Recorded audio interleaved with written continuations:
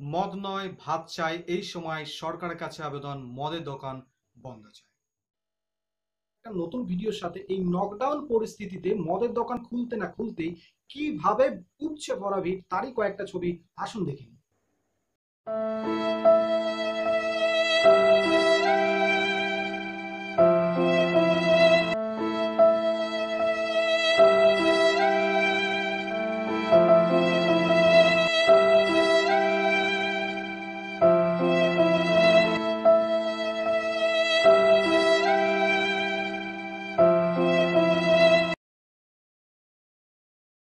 আপনারা দেখলেন কীভাবে এই মদের দোকানগুলিতে ভিড় চলছে।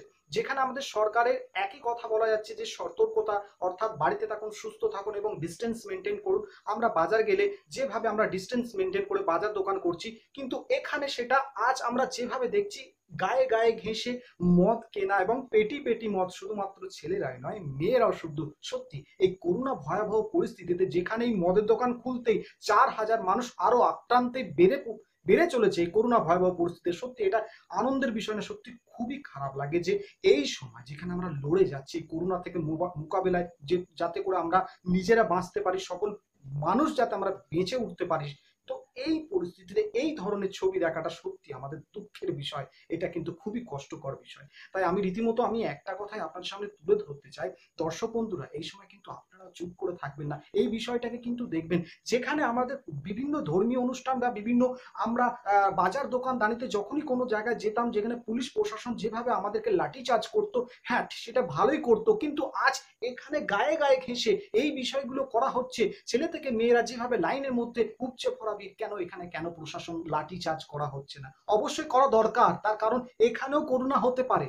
আমরা কি জানি এই মদের কাছে আমরা গায়ে গায়ে লাইন দিয়ে যদি মদ কিনি সেটা কি করোনা হতে পারে না?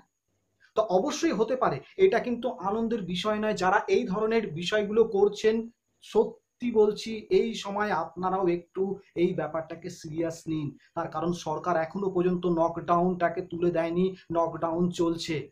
এরপর আপনাদের সামনে তুলে ধরতে চাই, আপনারাই বিবেচনা করবেন এবং সরকারের কাছে আমি আর একটা কথা বলতে চাই, যে সময় নকডাউন চলছিল, প্রত্যেকটা মদের দোকান যেভাবে বন্ধ ছিল সেই জিনিসগুলো আপনারাও জানেন যে মদ খেলে কি কি অসুবিধার কারণ হয় সাধারণ থেকে বিভিন্ন গরিব যেভাবে একটা বিভিন্ন সমস্যার সম্মুখীন হয়, সেই সমস্যাগুলো কিন্তু বন্ধ হয়ে গেছিল, খুব শান্তের মধ্যে ছিল।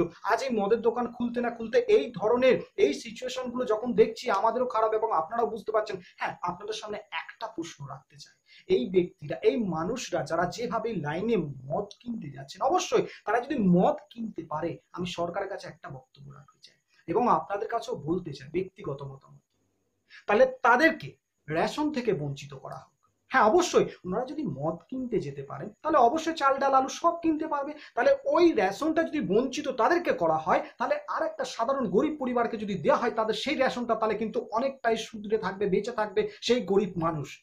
আমাদের দরকার যারা বেঁচে থাকার চাহিদা রাখছে, সেই সমস্ত ব্যক্তিদেরকেই আমাদের খুবই দরকার। এবং হ্যাঁ আমরা যেমন কোনো সিম কিনতে যাই, একটা নথিভুক্ত প্রমাণ দিয়ে যেমন সিম কিনি না, ঠিক এই ব্যক্তিরা যেভাবে মদের দোকানে যাচ্ছে, তাদেরকেও প্রমাণ নথিভুক্ত দিয়ে কেনা মানে মদ কেনা উচিত এবং এইভাবে সরকার থেকে ওই রেশন থেকে তাদেরকে বঞ্চিত করা উচিত। অবশ্যই আপনারা কমেন্ট এবং এই ব্যাপারটাকে ভেবে চিন্তে আপনারাও আমাকে কমেন্ট করবেন যে হ্যাঁ আমি এটা ঠিক বলছি কি ভুল বলছি? যেহেতু আমার ব্যক্তিগত মতামত আমি রাখছি। আর আমি যথারীত এটাই বলতে চাই, এভাবে যদি আনন্দের বার্তা, এভাবে যদি আনন্দ, মত, এই জিনিসগুলো যদি আপনারা করতে চাচ্ছেন, কিন্তু দিনের পর দিন কিন্তু ভয়াবহ পরিস্থিতি চলে আসছে। ব্যক্তিগত দিক থেকে আমি একটা কথা বলতে চাই, আমি কিন্তু নিজের স্বার্থ নয়, প্রত্যেকটা মানুষ যেভাবে সরকার থেকে, প্রশাসন থেকে বিভিন্ন মানুষ, এক কথা আপনারাও জানেন যে এই করোনা ভয়াবহ পরিস্থিতি আমাদের ঢাল হয়ে দাঁড়িয়ে রয়েছেন পুলিশ, প্রশাসন তথা আমাদের ডাক্তার, সহকর্মী এবং বিভিন্ন নার্স এবং বিভিন্ন সাফাই কর্মীরা। সত্যি তাদেরকে সম্মান করুন এবং তাদেরকে জানা আমি সত্যি স্যালুট। কিন্তু সরকার যেভাবে বলে যাচ্ছে, সরকারের নিয়মটাকে আপনারা উল্লঙ্ঘন করবেন প্লিজ এটুকুই বলতে চাই আপনারা এই সময়টাতেও অন্তত মানুষত্ব হারিয়ে ফেলবেন না। আপনাদের দেখে মানুষ এত আতঙ্কিত হয়ে যাচ্ছে এবং আপনাদের এই বিষয়গুলো দেখে আরও দুঃখিত বোধ করছে। তাই প্লিজ আপনাদের কাছে অনুরোধ এবং দর্শকরা, আপনারা অবশ্যই কমেন্ট করবেন এই ব্যাপারটা নিয়ে। অবশ্যই ভিডিওটা কি আপনার লাগল বা কি বিষয়বস্তু অবশ্যই জানাবেন এবং তার সাথে আমাদের ভিডিওটা ভালো লাগলে অবশ্যই লাইক সাবস্ক্রাইব বেল আইকন টিপে করবেন যাতে নতুন ভিডিও আপডেট পেতে। এর বেশি কিছু কথা নয়। সকলে সুস্থ থাকুন, ভালো থাকুন, বাড়িতে থাকুন। Thank you so much